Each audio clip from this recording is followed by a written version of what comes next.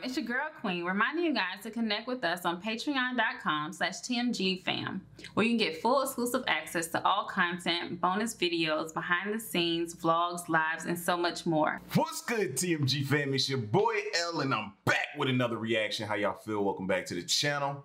Salute. Listen, man, we back with another one of these top 10 videos, man. You guys enjoy them. I love them. So we back with another one. This is the 10 strangest things to wash up on shore. 10 of the strangest things to wash up on shore. Now, I'm always of the belief that I have no idea what's all in that ocean, man. Besides Megalodon. Like, I know Megalodon is out there, bro, but there's no telling what else is in that ocean that we haven't seen or what could wash up possibly. So I'm very interested to see in this video. Is it gonna be some things that surprise us or maybe some typical things? I don't know, but it says strangest things, so I'm excited about it. So y'all get at me. Let me know what y'all think. Um, make sure you hit that subscribe button, man. Hit the subscribe button. And right next to that is the bell. Hit that too, all right? That being said, let's check out the video. Here we go.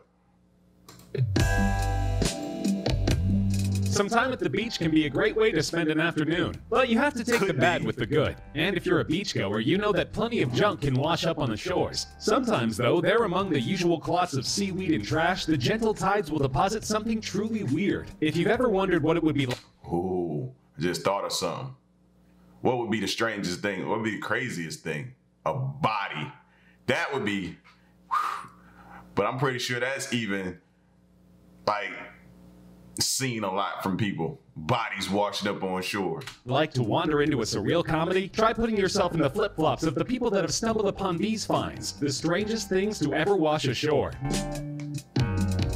Myrtle Beach, South Carolina is a favorite tourist destination, and its miles of beaches accommodate nearly 100,000 visitors a year. But seven-year-old Foster Frazier wasn't interested in lounging around the beach during his stay. Being an enormous fan of anything having to do with sharks, he was digging along a stream bed looking for teeth when he made the kind of find that would make a marine archaeologist green with envy. Young Foster dug up a 5-inch tooth bigger than his fist, which once belonged to a 50-foot terror of the seas, the Megalodon shark, which has been extinct for two and a half Everybody keeps saying they're extinct. They are not extinct, man. I know.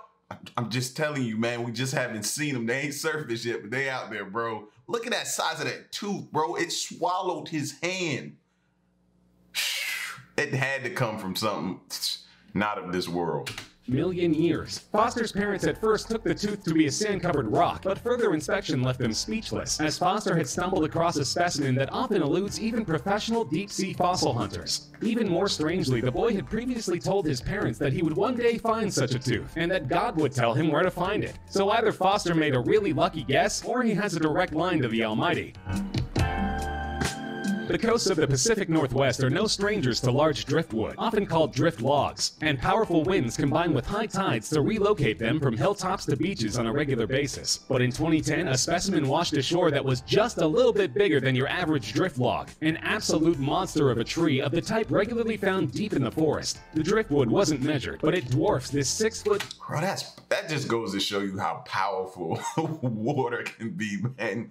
No human, no like nothing else is moving something that size but water, bro. That's that's insane. tall woman and would have towered perhaps 200 feet in the air when upright. The type of perfect storm required to rip this beast from the ground, float it down a swollen river, and wash it up on the shore is tough to imagine. But you may have heard that the Northwest has some wacky weather patterns. Well, here's the ridiculously huge proof.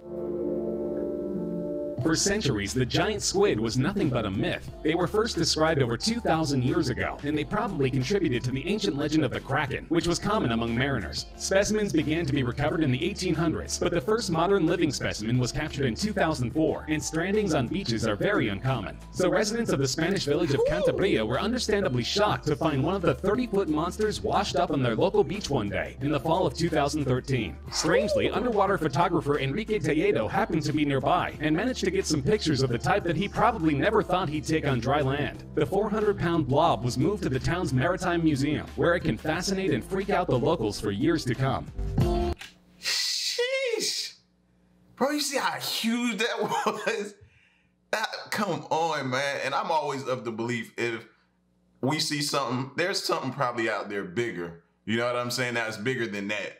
I always think like that. I don't know why. If I find something that is already huge, I'm like, in my mind, it's something out there even bigger, man. So I'm not playing around in that water, man. No, no.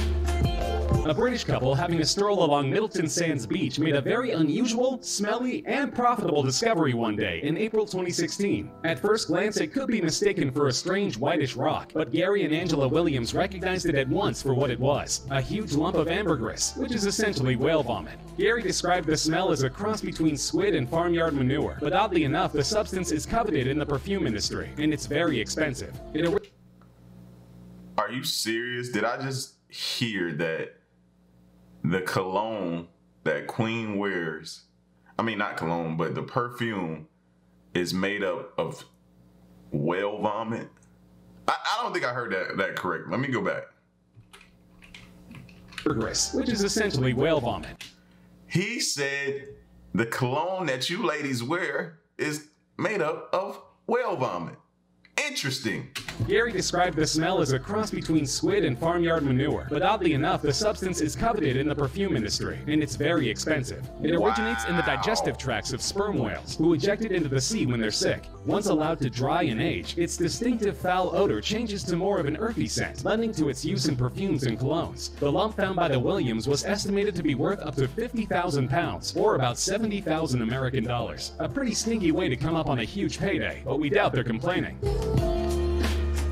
Kelly Gravel of Wales says her family was fascinated by the object that washed up during their visit to the beach in 2015. The large round metal ball was covered top to bottom in barnacles, and they What took it that? to be a buoy, of the kind that washes up in the area with some frequency. They took pictures of their kids playing around with the thing, posted a few shots to social media, and forgot about it, until a friend alerted them to a Facebook post explaining what it really was. Pembroke County Park had posted to its official account that the buoy was actually a United States military mine, a World War II era explosive which could very well still be active. The news came as a complete shock to the Gravel family, whose children had literally been playing with a bomb, and they went to watch when the mine was detonated in a controlled explosion by the local bomb squad. It certainly could have turned out a lot worse. It's Whoa, that would have scared the life out of me, man. I would need therapy after that.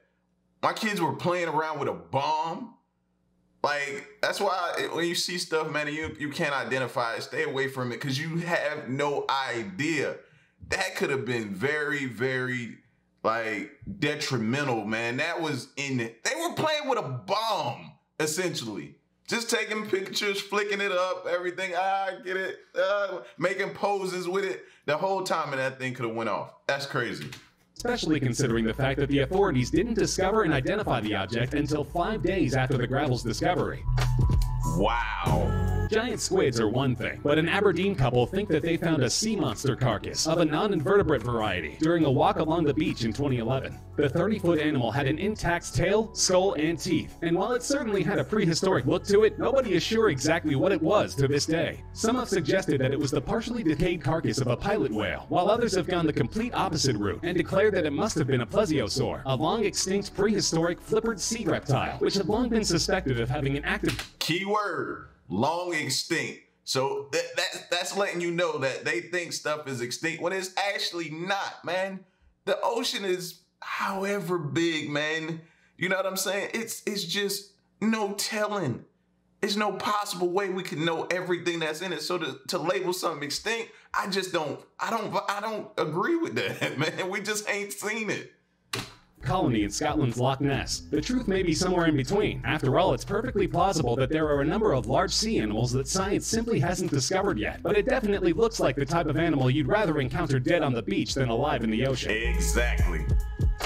You probably don't associate the frozen Russian province of Siberia with beaches, but there are plenty, only not the kind you'd want to visit to go sunbathing. It's strange to see sandy beaches covered with ice and snow, but an occurrence that took place near a village by the Gulf of Ob ratcheted the strange meter up to an 11. These are snowballs, thousands and thousands of them, all packed in neatly along an 11 mile stretch of beach, and they weren't made by the villagers for the annual All Village Snowball fight. According to the Arctic and Antarctic Research Institute, they were formed naturally out of slush, which formed into frozen chunks, which were then blown along the coastline by strong winds. The result perfectly rolled snowballs, ranging in diameter from about the size of a tennis ball to whoppers three feet across. Nobody is sure how often the perfect conditions for this phenomenon to occur See, people kill me, man. They always trying to figure out something, man. Some stuff is just unexplainable. Just let it be. It just is what it is. That's it. come about, but it can't be very often. One village resident said that even the old timers who had lived there all of their lives had never seen it before. Storm Angus wreaked havoc on the UK in late 2016, blowing through with 80 mile per hour gusts and causing devastating flooding. Of course, the UK is accustomed to such rough wintertime weather, but nobody can remember ever before Whoa. having seen an entire local starfish population suddenly relocated to the beach. Apparently, Whoa. Angus caused waves strong enough that the creatures were dislodged from the seabed in vast numbers, then left stranded on Southsea Beach when the tide went out. Some local residents spent an afternoon trying to save as many as they could, carrying Yo. them in buckets back to the sea, but became discouraged when more just kept washing up. Thousands upon thousands of the critters died where they lay. And while Angus was responsible for only minimal human casualties, users on Twitter were referring to the situation on Southsea Beach as the Starfish Massacre. Yo, at that point in time, it's, it's time to move. It's time to take your family and move, relocate. That's what that's a sign of. In the English town of Norfolk in early 2017, officials made an equally alarming and slightly more illegal discovery. On two separate beaches within a short distance of each other, an absolutely absurd amount of pure uncut cocaine washed ashore in several unassuming looking duffel bags. The first stash was discovered by an anonymous member of the public who notified authorities, and the cops recovered the second shortly thereafter. All in all, the haul amounted to a staggering 360 kilos, with an estimated street value of 50 million pounds, or roughly 70 million American dollars. It's likely to have been ditched by air or seafaring smugglers. And while officials have been unable to determine where it came from or who it was intended for, one helpfully remarked that the public beach. That's a life decision you got to make right there with yourself. That's an internal decision. You got to sit right there. You got to look at that and be like, holy, is this a sign? Is this a, it, it, it, what? What do I do with this? And they said it was pure, uncut, pure with a street value of 50 million, 70 million in the US. oh my, bro, bro, bro, bro, bro. like, what do you do? Oh man, yeah, man. I'd have ran. I'd have feel like I'm getting set up. I'd have been like, this is a joke. They trying to set me up. This is entrapment. Like, I don't want no parts of it. That's what my mind would have thought. Each was probably not its intended destination.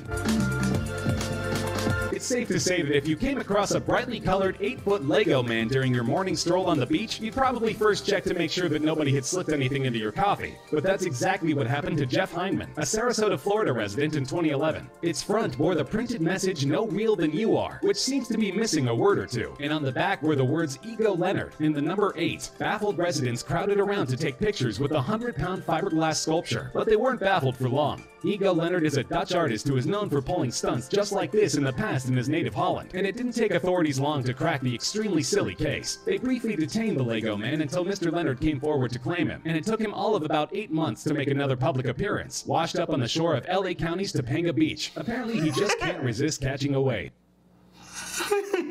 yeah. Yo, man. Super, super fire joint, man. 10 strange things. I think the strangest thing to me was that bomb the kids were playing with. Um, that's just insane, man. You you never know. And to think that was a, ended up being a bomb when somebody somebody probably thought it was like a buoy or something or anything like that.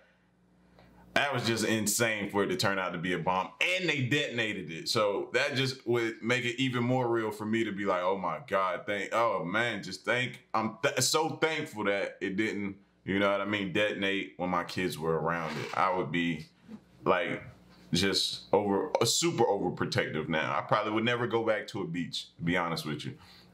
So y'all get at me in the comment section, man. Let me know what y'all think. Leave a like, share the video, stick around and stay tuned, man. It's your boy L. To the next reaction, I'm out. Peace. Y'all stay solid.